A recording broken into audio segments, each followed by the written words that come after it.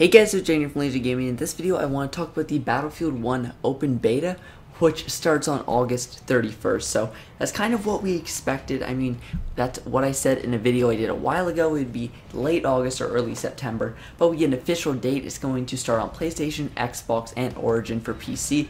So there's no specific early access for any platform, which is really great for this. And I'm just going to review the article they wrote and then give some more information that came out on Twitter other than just the stuff that's on this website. So ready to go boots on the ground at the dawn of all-out war. It's almost time. The Battlefield 1 open beta begins on August 31st for Xbox One, PlayStation 4, and PC. Battlefield get early access, so I don't know if that they'll get it on the 28th or if everyone else gets it on September 2nd and it starts on the 31st. Maybe they haven't decided yet. But you have to sign up for the insider program by August 21st. So I know a lot of you have already done that, but basically just go to Battlefield 1's website or look up Battlefield 1 Insider on Google and you'll just be able to sign up. Super easy. Otherwise, you won't get a code to play early. The Battlefield 1 Open Beta will include the Sinai Desert map, a scorching hot battlefield located just east of El Jafar.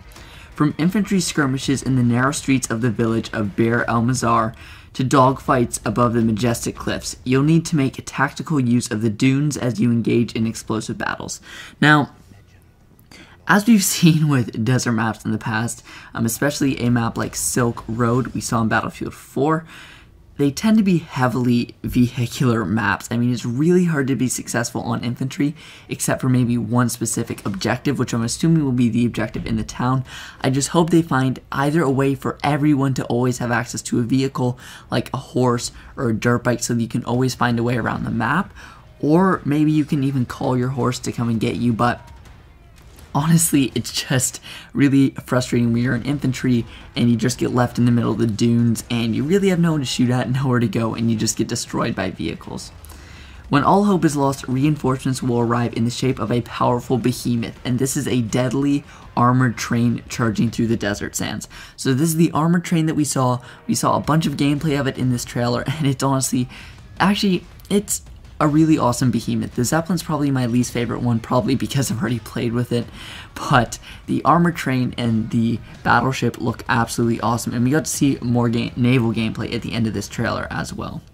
So the two modes that will be available in this beta are Conquest, an all-time fan favorite for Battlefield players. You guys know Conquest is going to have 64 players, and really the main difference with Conquest in this game from previous games is the addition of behemoths, which are really awesome. Now, Rush is now a 24 player mode instead of 32 players. Not sure necessarily how I like that, but I'm hoping that people will be able to change the player counts because 24 does seem a bit low. Hopefully, people can change it to 32, but who knows? Maybe the maps will be designed better. I'm assuming they will be for 24 players, but many of you are wondering this how are they going to do MCOM stations? Because obviously, you can't do that in World War One. Um, basically, what it is is the attacking force must find and destroy the defender's force's telegraph post, which can be used to call in artillery strikes. So the defenders can call in artillery strikes with their telegraph post until it's destroyed, and the defenders can deny the attackers their mission by disarming explosives that the attackers plant on the telegraph's position. Should the telegraph post be destroyed, the defenders must fall back to the next sector and protect the telegraph post. Get your squad ready to, to deploy because on August 31st, you're going to experience all-out warfare. So in this beta, we get one map. We're not sure how long it's going to last. We're not sure what early access gets. I'm just happy that we finally got some information on the Battlefield 1 beta. I'm happy that it is August 31st because I know for most of you that is still summer.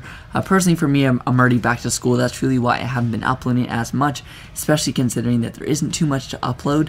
So I spent mainly news stuff for now until we get the beta, and once the beta comes out, I'll post a ton of videos.